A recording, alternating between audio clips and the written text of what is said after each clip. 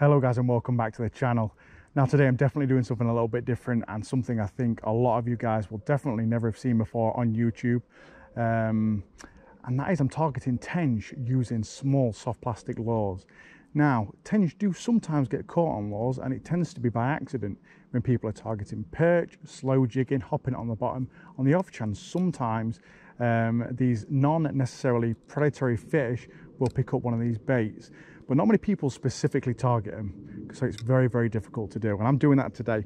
I'm using some very very small baits. You can probably see on the end of my eye there.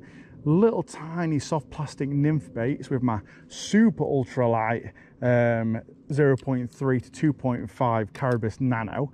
And fingers crossed we're going to try and get one. I'm only fishing a three pound leader. We're in super finesse style for these fish.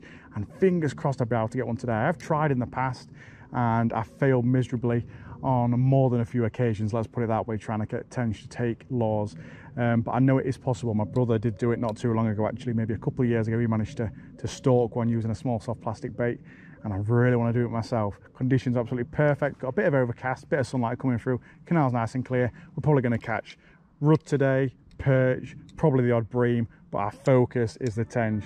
So let's crack on and hopefully get one, two, maybe three on the bank. You never know.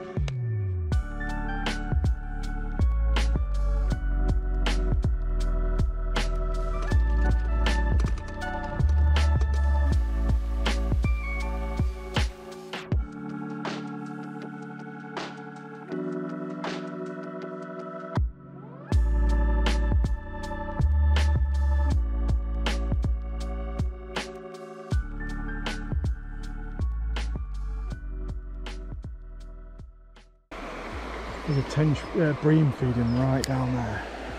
Not really what I was after. I want tench, but I'll take a nice bream. And a micro jig any day. Got it, we got it. Easy. Oh, left me net behind me. That's the worst decision when fishing tiny micro jigs. What a what a bream. Proper stonking bream. Really nice fish. Really nicely hooked.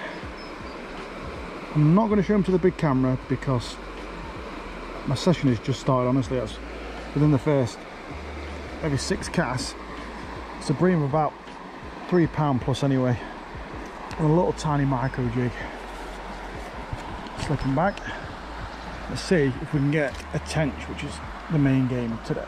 Main aim of today should I say. Okay I wish you'd just swim out like a normal fish. There we go. Beauty though. Good start. Might have been a bit bigger than I thought actually. Maybe three and a half. Fantastic start to the session. Tench has just come shooting past me.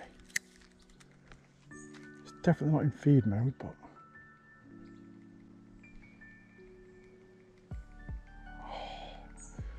Thought do ever try? Oh, good damn perch. You always get in the way. There's these little ones when you're after big fish. Just down there. God damn it. Definitely spooked now. Screw it. There's lots of little perch and rudd and stuff around here. I'm Not going to get that tench, but I can definitely get those little rudd. Aggressive little things. Another little perch. Loads of little dinky perch about. You ready? I'll get another one in a minute. Another one. Well, that's probably one of the smallest perch I've ever caught. Because that's a good and bad thing about using micro jigs. You really can catch fish of any size. You could get big bream, you could get carp, big pike, or you could get tiny little dinky perch. There's literally a tench feed in the margin right there. He's still there. Yep, here we go.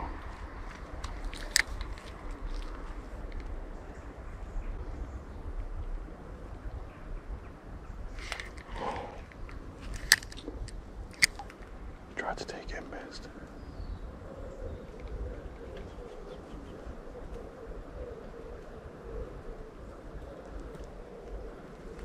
Damn it, we missed our chances.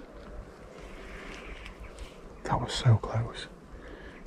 He Genuinely went down and tried to grab it. And he, I think he must have just missed. Or he grabbed it, but I bet it was stuck in the weed. And. Should we get one? God, see that jumped out of the water. Oh, that chub thought it was a trout. Easily.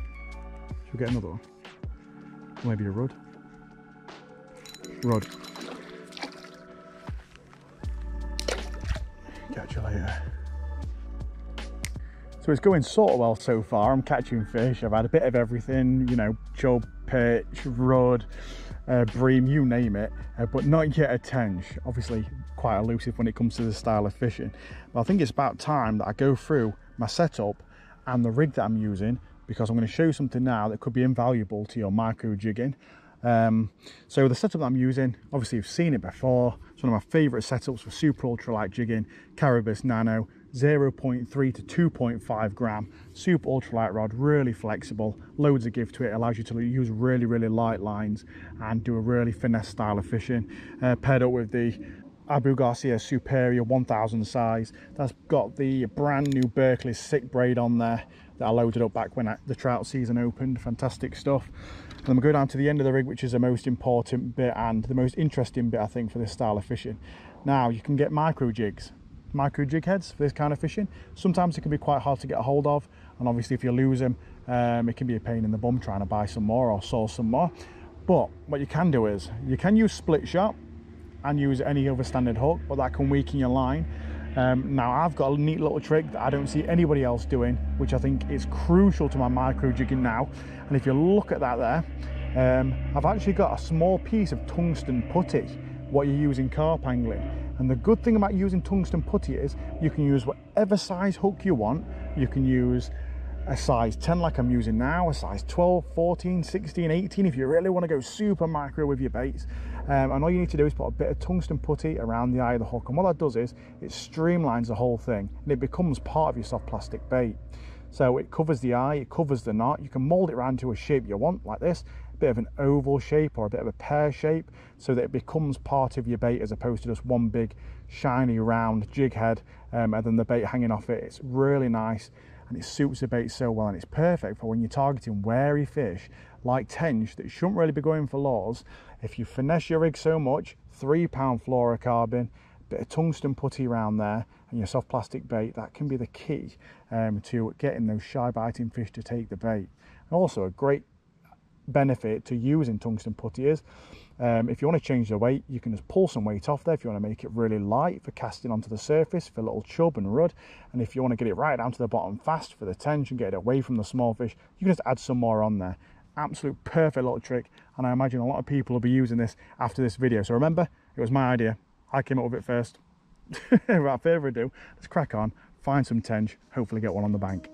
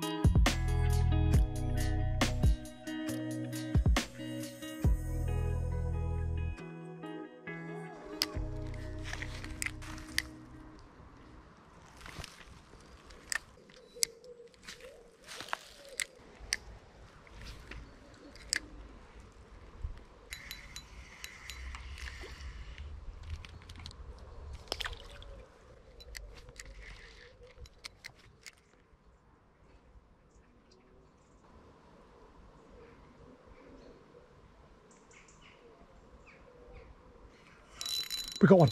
We got a tench. Oh, it's a big one. Oh my god. Oh my god, it's a big tench too. On ultralight jig.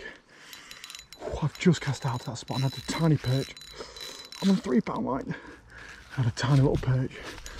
And I cast out again and you could see it move towards where my bait was. I felt a slight tap. Oh boy, I'm so nervous. Felt a slight tap. Lifted into it thinking it must be another little perch that's taken it. And now it is a nice tench. Oh, I'm so nervous right now. the snags and stuff down there. Fishing a 0.2 gram rod, is it 0.2 to, to 2 gram? That's a good sized tench. Oh, I'm so nervous right now. Little micro jig. With a size 10 hook on it. Oh my god, look at that rod bend. Look at that rod bend. Three pound line, three pound fluorocarbon leader. I think I might fishing mono actually. Oh god, I can't stop there. This will be a first for me and a real bucket list. Fish to catch on a lure, a tench. I'm so nervous right now. Come on, come on, come on.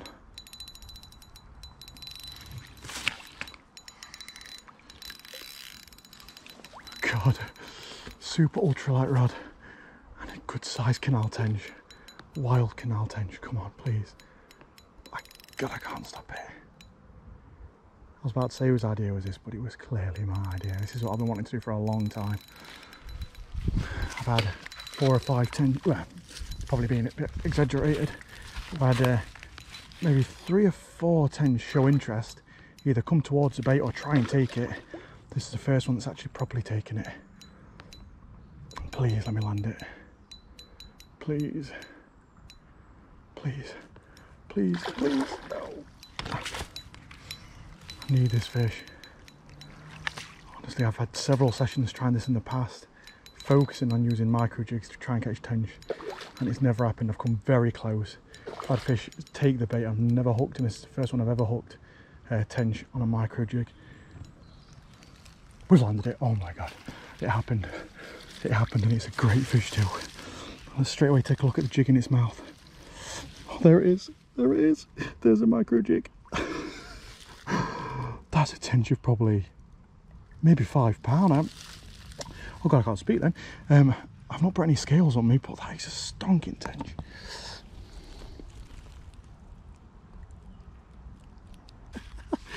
yes.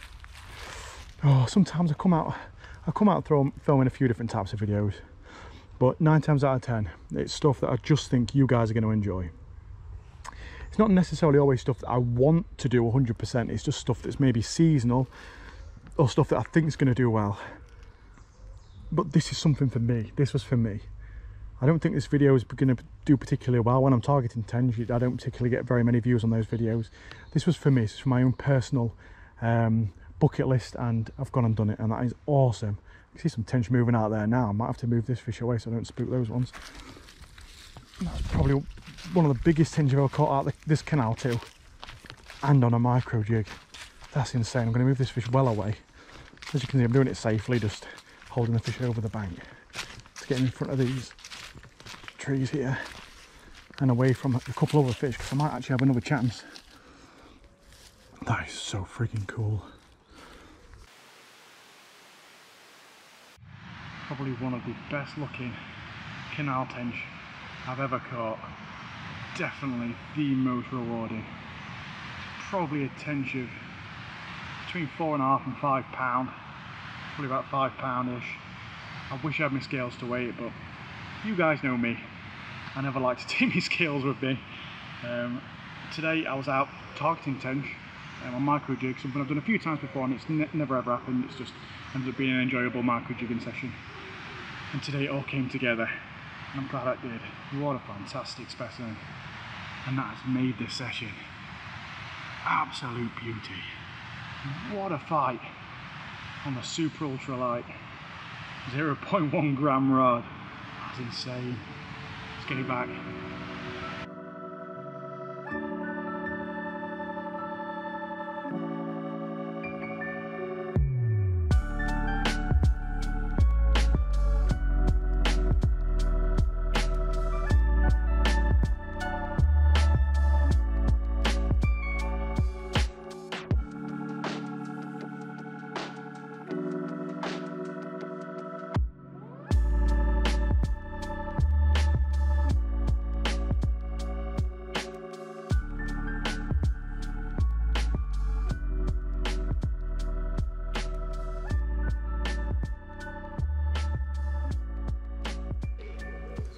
Tension swimming past me right here.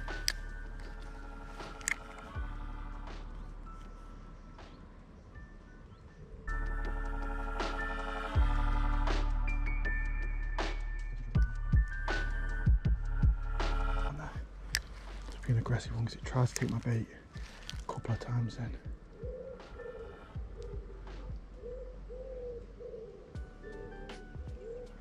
Got it. We got another tench. We got another tench. Oh my god. I can't believe it. I was just on my way home as well. Second tench on the lure. He's he's being a dopey one. Good to get my net. Definitely not as big as the first one. Still awesome. He's gonna liven up now, isn't he? yeah, I can't believe how easy that fish was to land.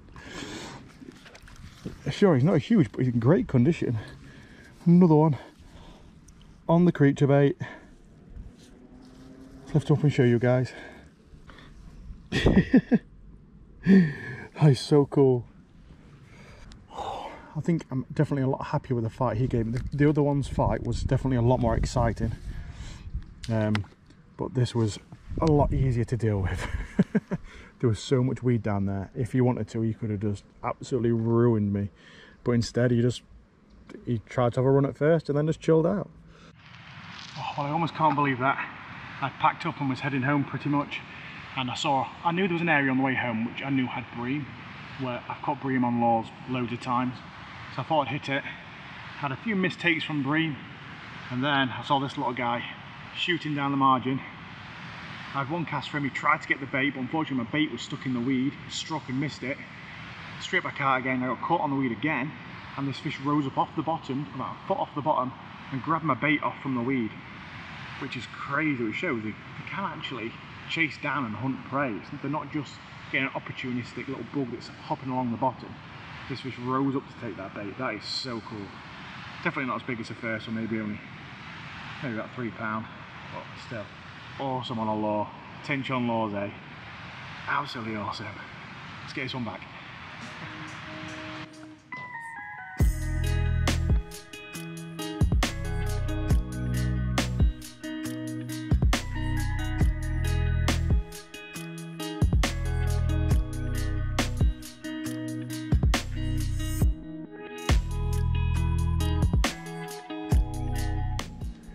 Was certainly an enjoyable session.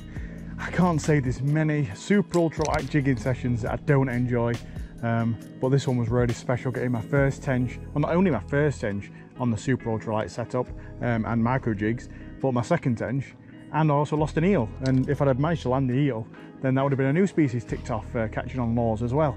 So it's been so much fun. If you want to check out the setup that I've used today, I'll leave it all in the description below. Uh, rod, reel, line, things like that. Um, if you want to subscribe, feel free. We're on the road to 100,000 subscribers. So it'd be great when I hit that, hopefully this year. Um, if you like the video, don't forget to like If you want to see more content just like this one, let me know in the comment section below. And thank you guys for watching.